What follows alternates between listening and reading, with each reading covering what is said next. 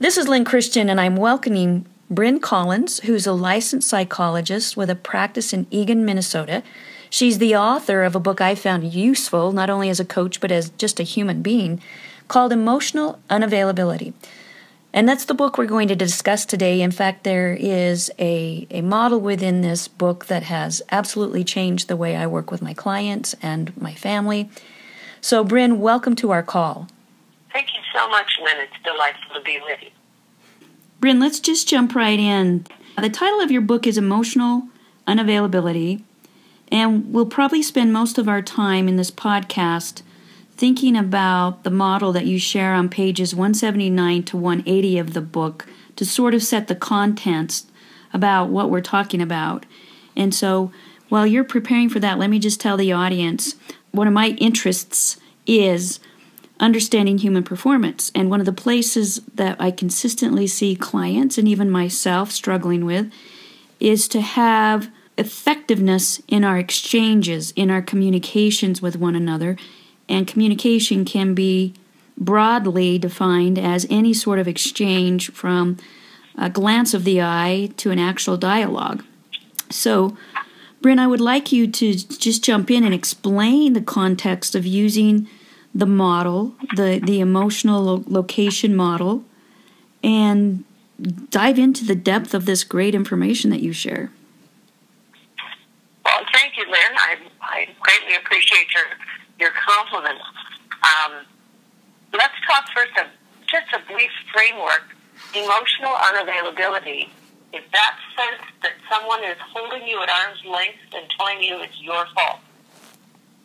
And so if you think about, there are some relationships where that sort of distance is totally appropriate.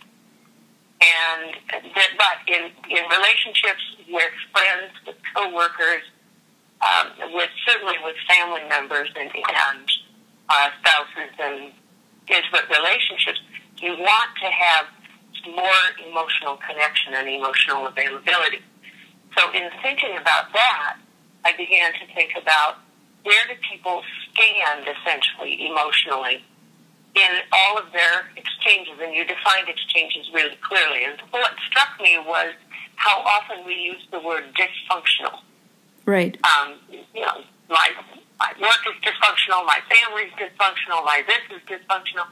It gets used so often it stops having meaning.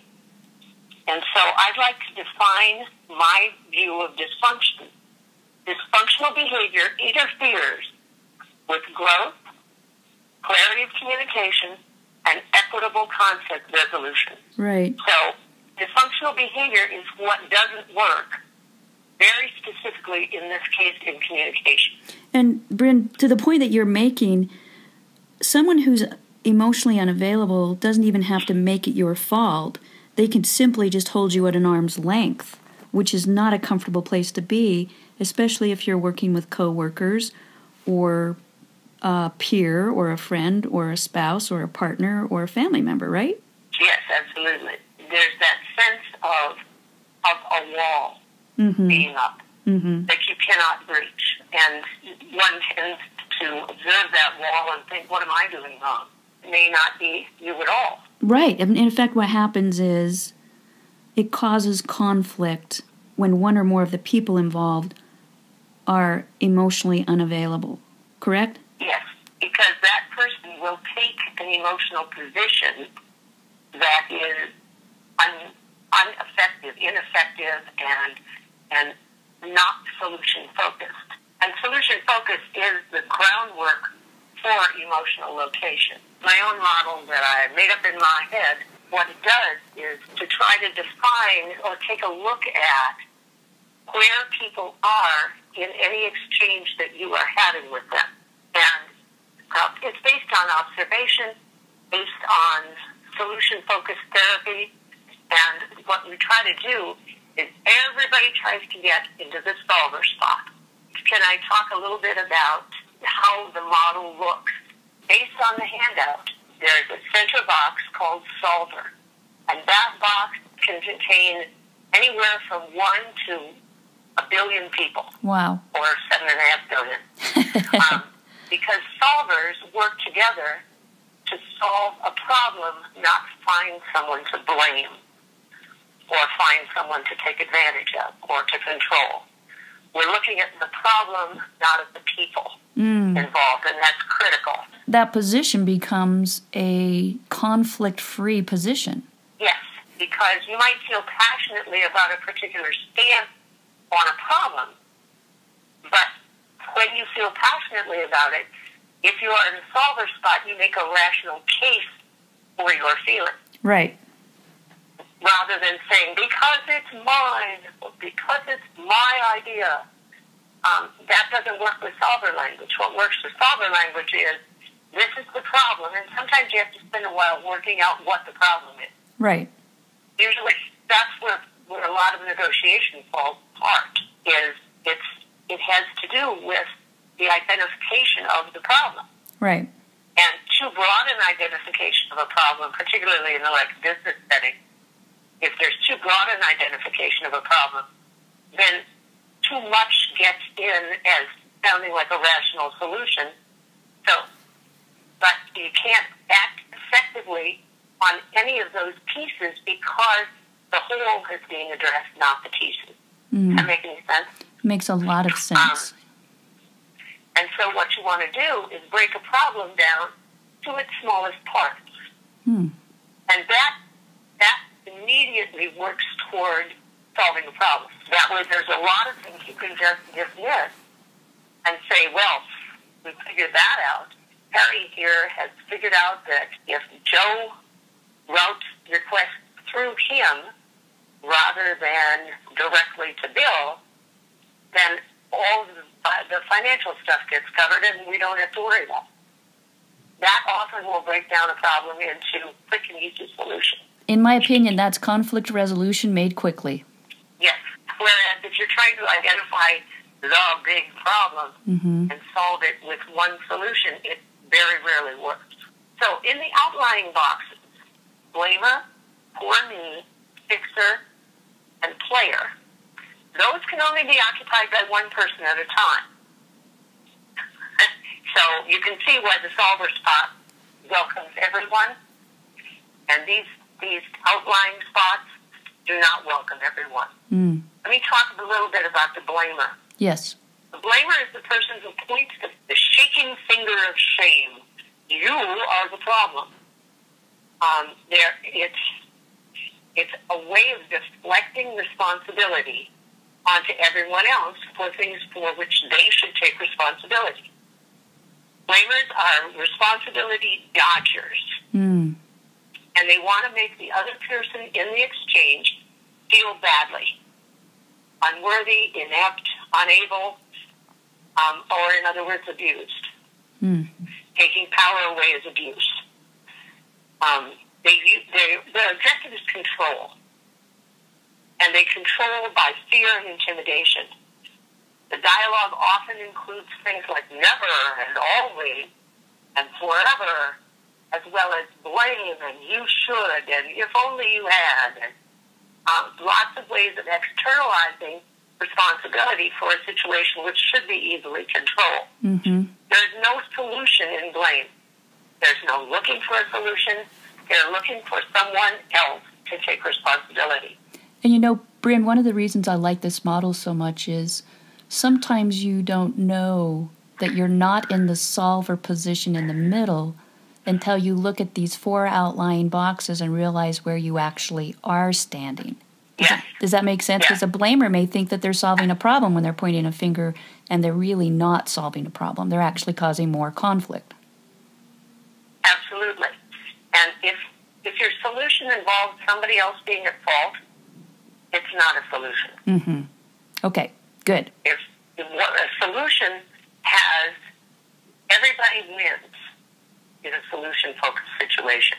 You also bring out the point in your book that a solver is respectful. That's a respectful position, correct? Absolutely. You want to respect the rights of others. Mm-hmm. You want to respect their power base. You want to have good boundaries. Mm-hmm. That's extremely important. Mm-hmm. Um, you want to use respectful language. And I, I tell couples that I see, for example, that why is always followed by the invisible the heck or worse. um, and a pointing finger. So why is not solution focused language? It's not, and in fact, help me understand. Or you must have a good reason. How how come you made that decision? And Bryn, I haven't told you this, but as I mentor and teach coaches, I ask them to use open-ended questions and to always avoid why for that very reason. Well, terrific. That is an extremely important thing.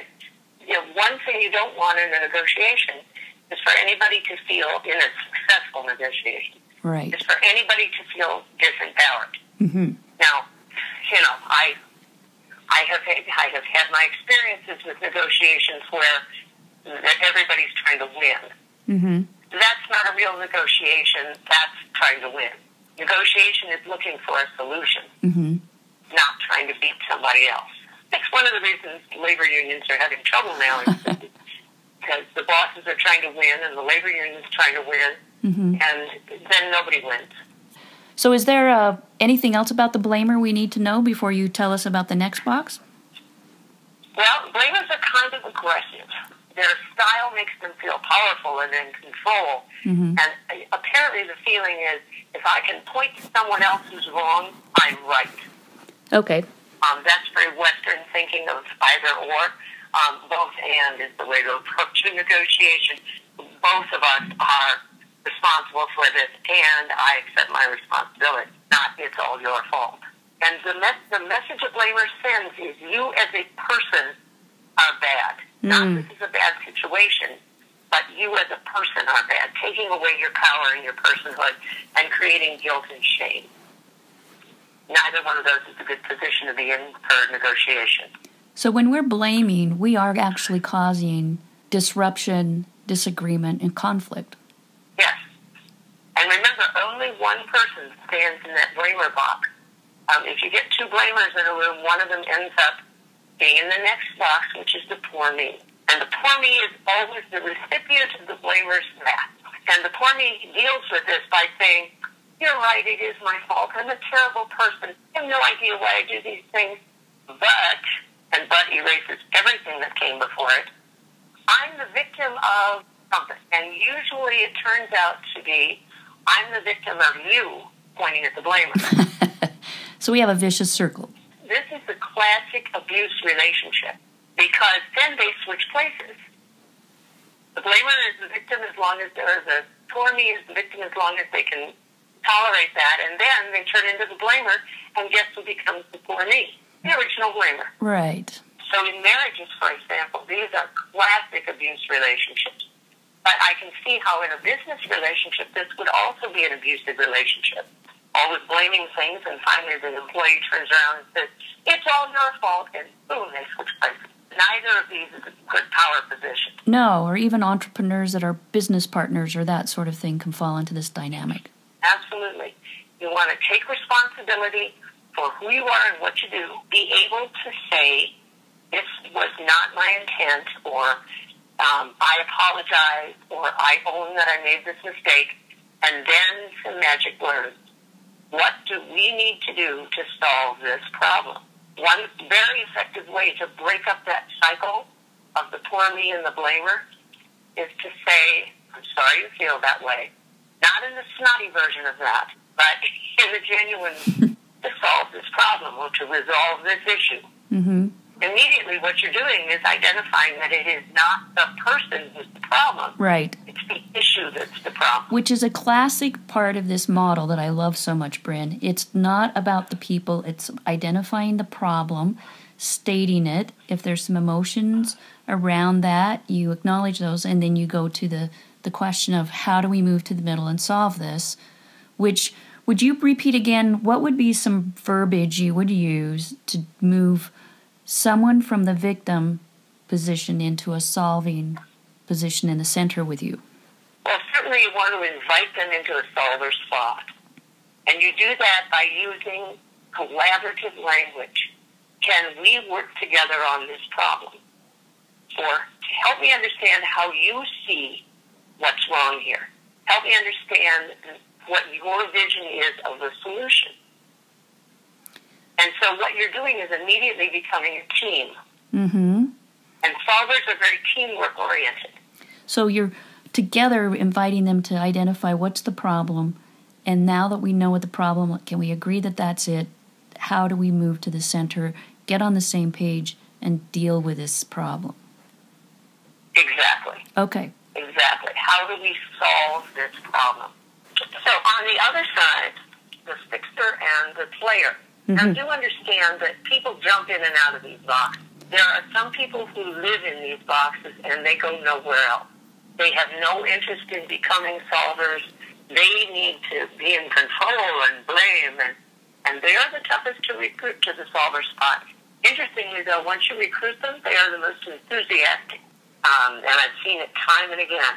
So on the other side, on the top, we have the fixer. Mhm. I'm not talking about the loving, caring kind of fixing that solvers do. Your friend calls you and says, I am the world's worst code, and my husband's out of town, and the kids are running crazy.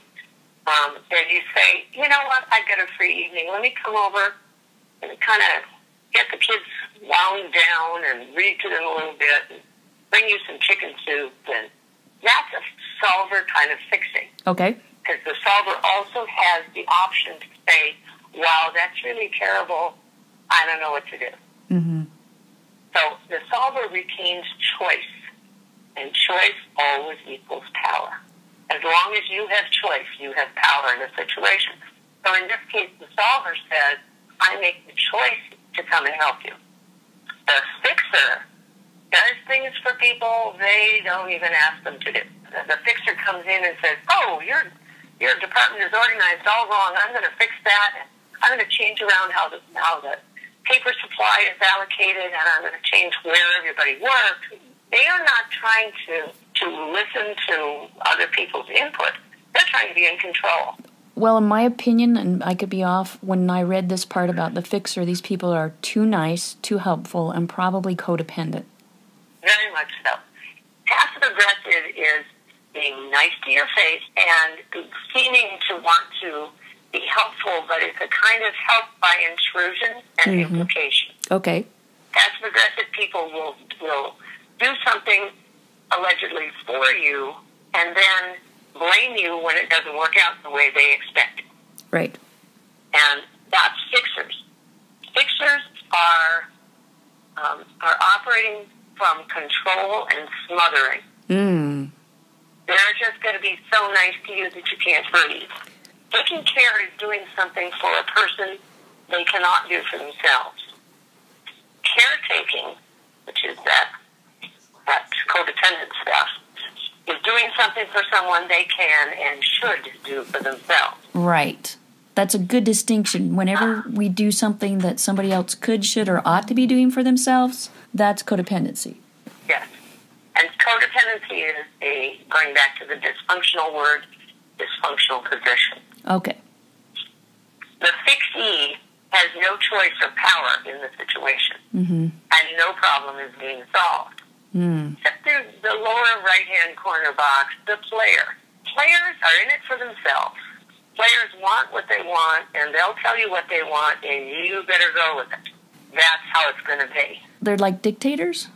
Well, beyond dictators, they don't care about you. Oh. So I suppose in that sense, they are kind of dictators. The player sounds like they're a bit narcissistic and self centered. Oh, exactly that. Right on the money. They're often drug or alcohol addicted as well. Mm. And that player fixer relationship is the one of codependency. Yes. It's also the one of, of desertion and, and no reciprocity. The energy goes all from the fixer to the player. Mm. There's no exchange of energy at all.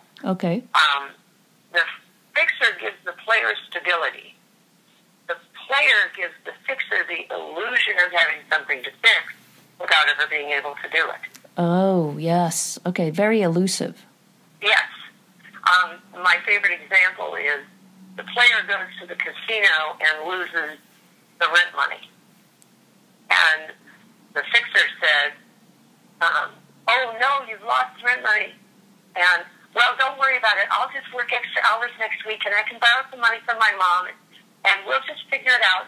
Don't worry about it. A solution focused person says, wow, that's a problem. How are you going to fix that? Players don't like solvers. Look at a blamer and a player. Mm-hmm. The player just blows off blamers. Right. You know, oh, whatever. But the fixer will often jump into the blamer spot when dealing with a player.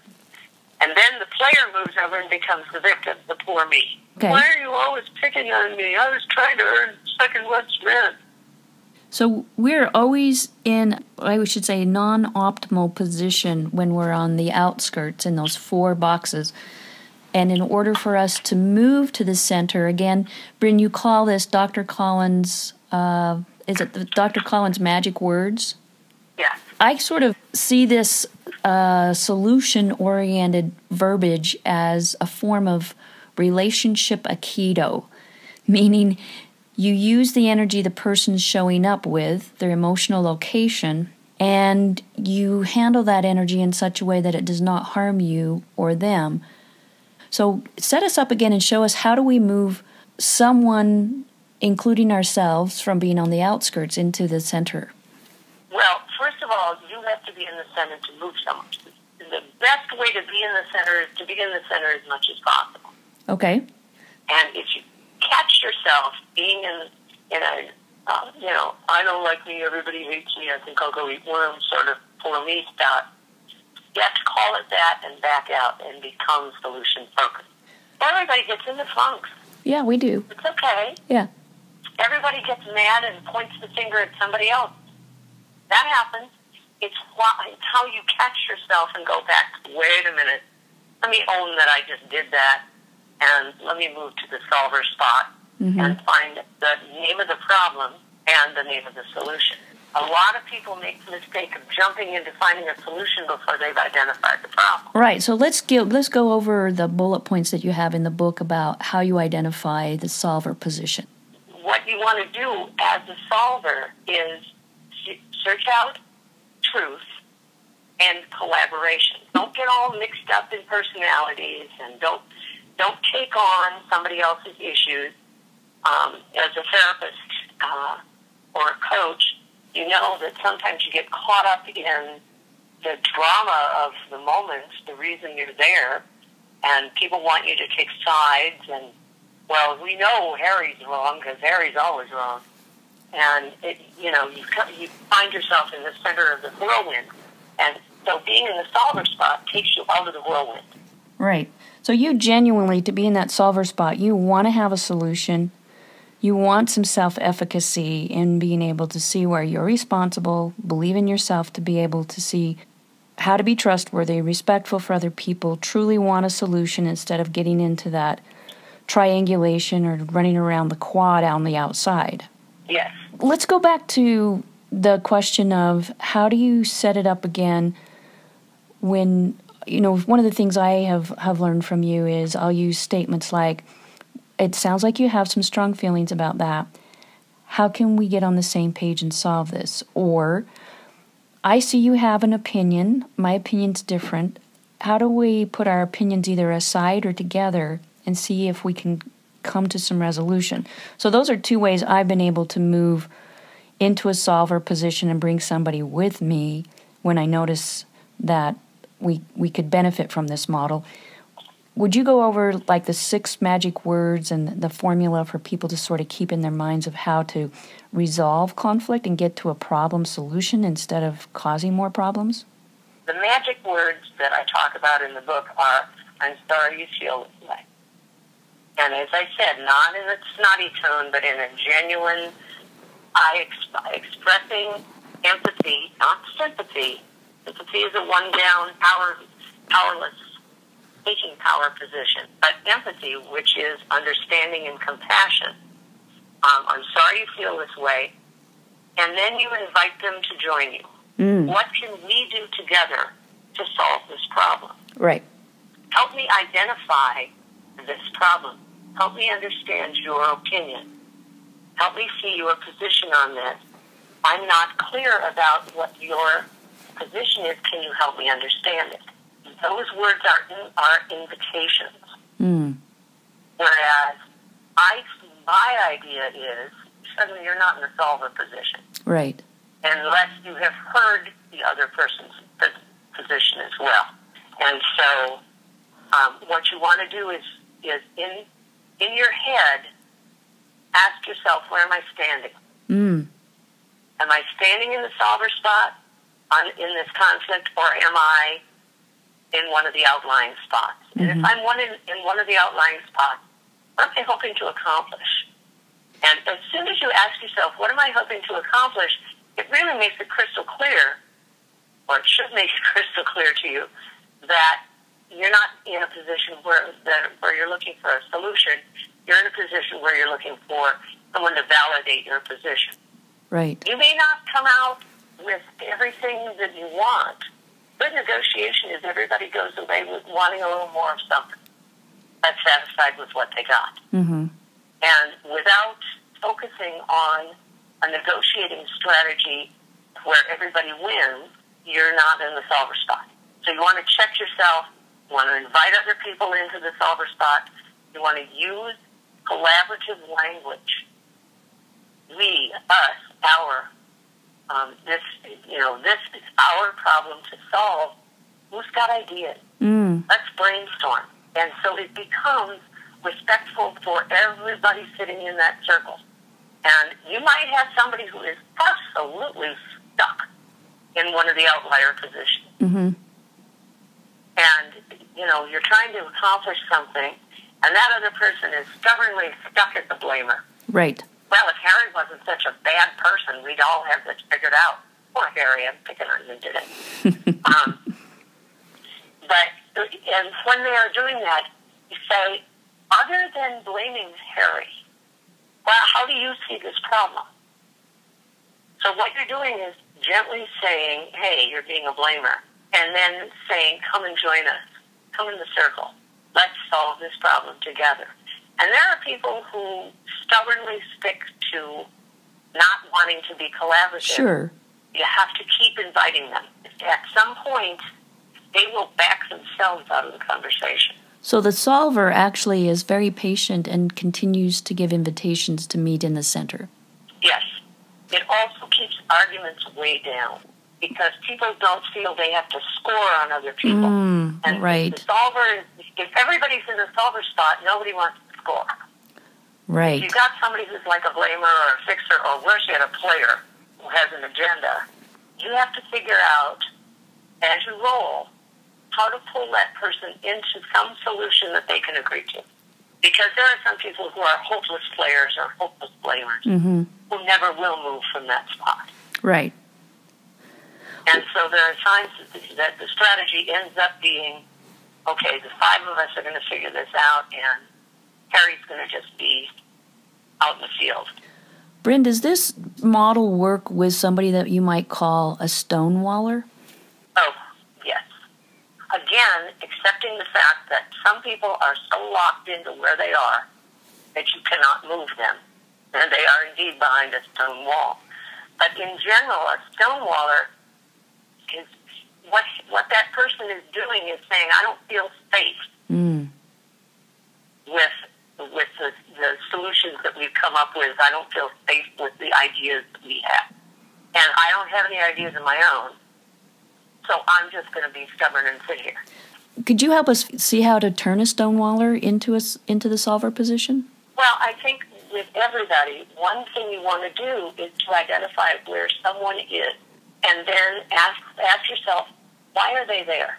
Because people won't do something that's uncomfortable for them. For example, if you have a solver, and everybody in the group is a solver, people are not looking to get over on somebody else. Mm-hmm. They're looking to, to find a workable solution.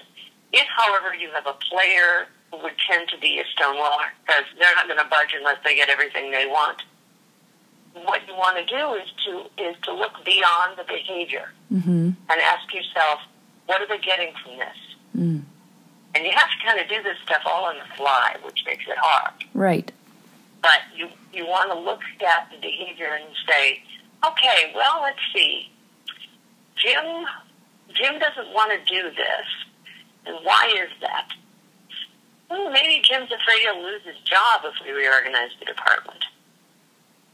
So the next step then is to is to identify, for example, we'll stay with Jim, and to say, Jim, your help in this reorganization is critical because we need you as part of this balance. And bring him in by quietly and respectfully identifying what you think the problem. And then finding a very respectful way, again, respect is the key, mm-hmm. finding a very respectful way to invite him to join the process. Right. And so somebody who's stonewalling has an agenda or a fear. Would that also be the case with people who are chronically defensive? Yes. Okay. Because defensive and stonewalling are kind of the same behavior. Mm-hmm. And look beyond it. Usually, what's driving stonewalling or defensiveness is fear. Okay. It might be I don't want to look bad. I don't want to sound like I'm an idiot. Um, I don't want to. I don't want to think that I'm going to get blamed for this by uh, Jim. Jim and Harry are in bad trouble today. um, but what you want to do is to keep reminding everybody that you are looking for a solution to a problem that you will all identify together. Mm-hmm. Bryn, you, you're teaching me something, which is if we want to avoid conflict, because you know you don't have to solve conflict, you don't have to resolve it if it doesn't exist. We should probably be serving ourselves and those we're with to become better communicators and learning how to be solution oriented right from the get go. Yes, well, it serves you well.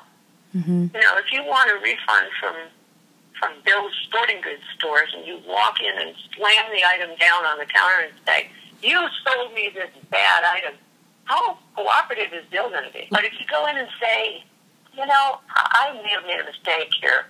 I thought I was buying such and such, mm-hmm. and instead." I ended up with this tennis racket, which I don't think is what I need for baseball. And you can both laugh about it, and Bill is definitely joining you in the solver spot at that point. Right. You're not beating yourself up. You're identifying that, you know, a tennis racket is not going to be the solution for playing baseball. Right. And nobody gets hurt. Everybody gets what they want.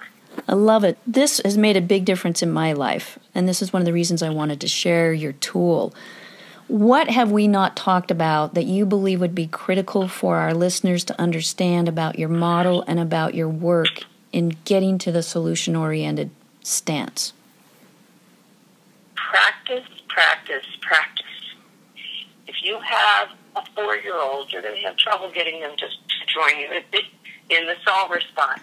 But that's exactly when you want to teach kids negotiating techniques. Mm-hmm they're at four is a little early, but when they get to five or six, they get if if you hang out and are good with me in the store, then at the end you have a twenty five cent budget or a fifty cent budget or whatever to choose something you want. Hmm. You're setting boundaries, you're establishing limits, and you're giving them power. Mm-hmm. And then you also have the negotiating technique of saying, you know, we agreed in the car before we came in that you were not going to ask me for everything we went past. And I think you didn't hold up your end of the bargain today. Or I want to affirm, I want to, oh, Jimmy, I want to tell you, you did a great job today. I'm really proud of you. And here's the dollar to spend on whatever you want. And you can save it if you want to. Giving little guys the opportunity to make choices like that builds a kid who is better at negotiating and less likely to get into fights and less likely to join a gang mm-hmm. and very much more likely to work their way through the awful maze that is school, mm-hmm. especially middle school, and and be successful in life. Right. But if you didn't learn negotiation skills when you were little, you can learn negotiation skills as an adult mindfulness is really probably the key. I agree. Where am I at the moment? Mm-hmm. Where is everyone else at the moment? And this model gives us a chance to actually apply that mindfulness and sort of locate where we are and where the other person is, and then try to find a pathway to the solution orientation.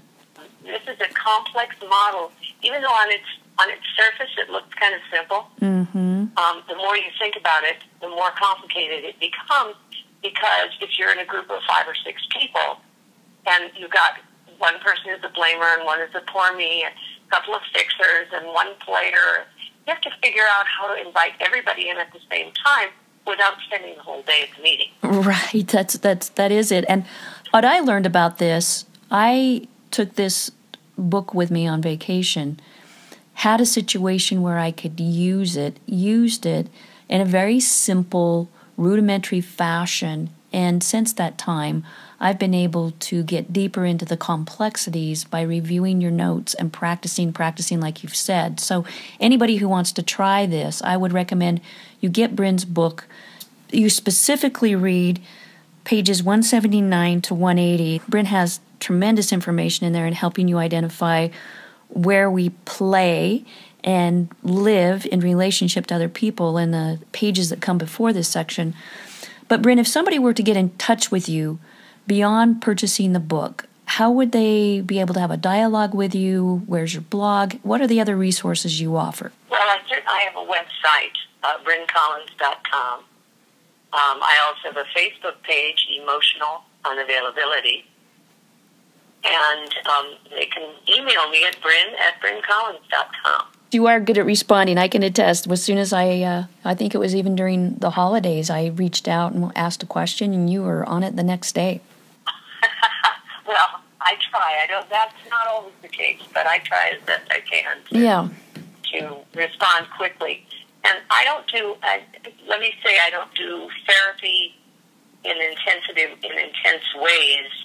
Um, in responding to, to questions. If we're going to get into a therapeutic relationship, I actually do see clients from all over the world via Skype. Nice. Okay. And um, in some cases, it's through insurance. In some cases, they choose to pay themselves. But um, I think it's you know it's a door that's open in more and more frequently. Um, the, my industry is recognizing that our client base does not have to be next door. Right. So people, uh, how would people contact you in order to schedule a Skype session? Um, uh, the best way is probably through my email at bryn at bryncollins.com, mm-hmm. B-R-Y-N, one N, and, um, or to call me uh, at 952-953-3332. You'll probably end up having to leave me a voicemail, but I will get back to you 24 to 48 hours. Um, if you identify it as an emergency situation, I'll do the best I can to get back to you right away. I'm working on a new book called mm. Emotionally Unavailable Parent, given the fact that I wrote this book in the, in the middle 90s. Right. It was published in 97 and it's still going strong. Well, I found it and found it very useful in my practice and in my personal life. It explains quite a few of the dynamics that all of us experience. And I'm surprised there's not more written on this topic, but your book, even though it was published in the 90s, is quite relevant and right on the nose with solutions. So I want to give you uh, props for that. And I can't wait to see Thank what you. the new book is. Yes. Any last bit of wisdom, if you were to give your best advice to our listener, what would it be? it would be from my grandmother who said you attract more flies with honey than with vinegar. If you're trying to deal with somebody, yelling is not an effective tool. Whining is not an effective tool. What is an effective tool is inviting someone in to be a participant with you in solving the problem. Well said.